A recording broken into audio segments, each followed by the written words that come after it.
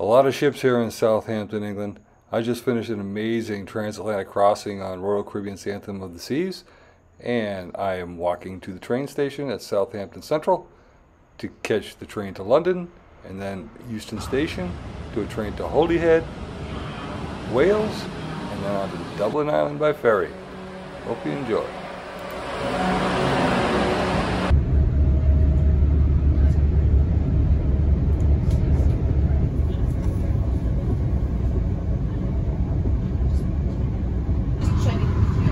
The next station is Basingstoke. Change here for Andover, Exeter, Reading, West Midlands and more. Please mind the gap between the train and the platform edge.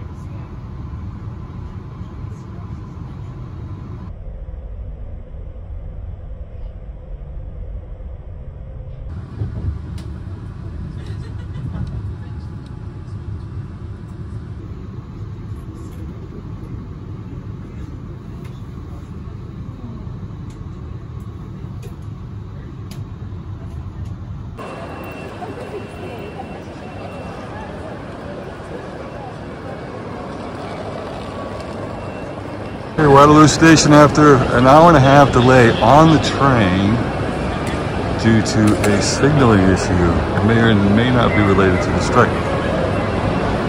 Oh, I'm here. Now I gotta go to Euston Station. Off to Holyhead, and then the ferry to Dublin. Fortunately, I had two old Oyster cards, and I had enough money on one of them to make the trip.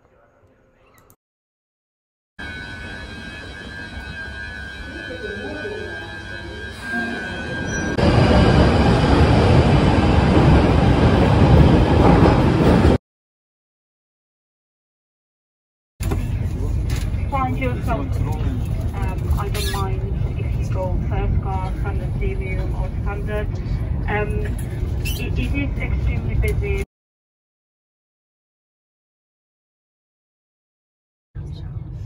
The scenery on the train travel was fantastic, and the video does not do it justice. It seemed like every time I picked up the camera to take something that was beautiful, I ended up with a bunch of bushes.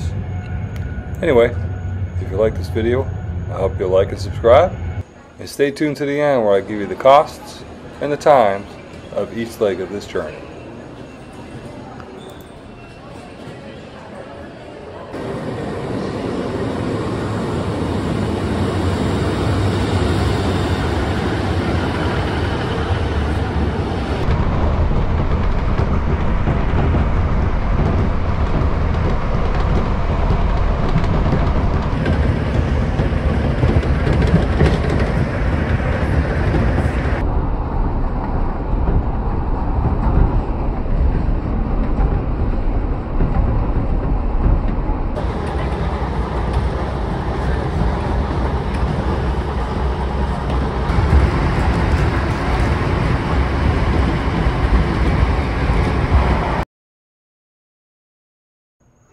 I'm not going to try to pronounce this one, but this is supposed to be the longest named place in Europe and the second longest place name in the world.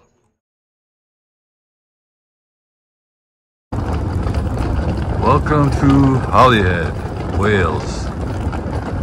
You know, I didn't know there was a 1645 ferry to Dublin.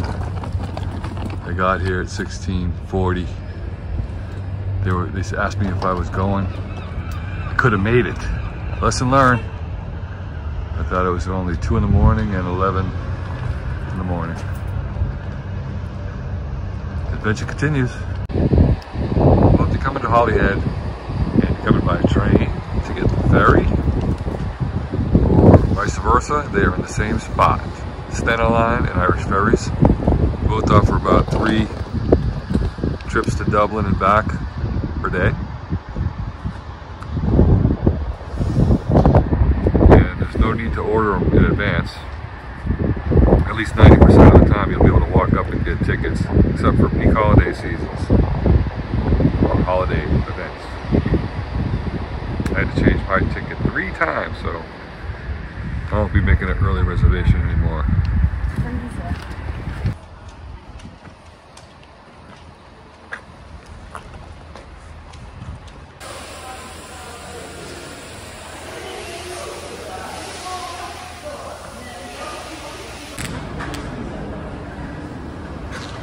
Okay, went through security. Don't bring locking knives.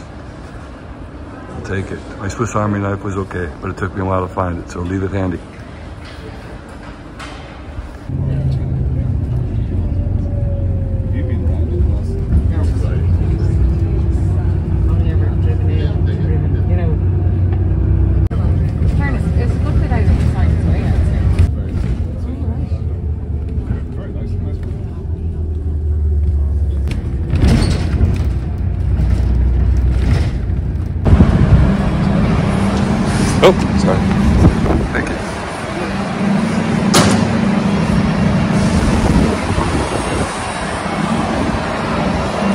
This fast craft.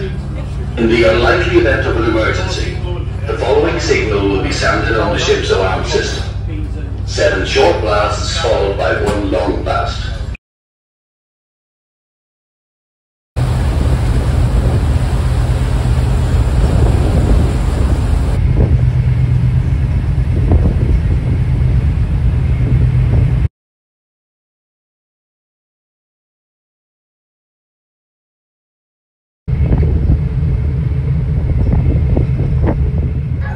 I love taking the ferry from Holyhead to Dublin. A lot cheaper than an airfare out of London on that particular trip. So I enjoyed it and I feel like I got two cruises in one. Time from Holyhead to Dublin took about two hours. I think it was 45 euro.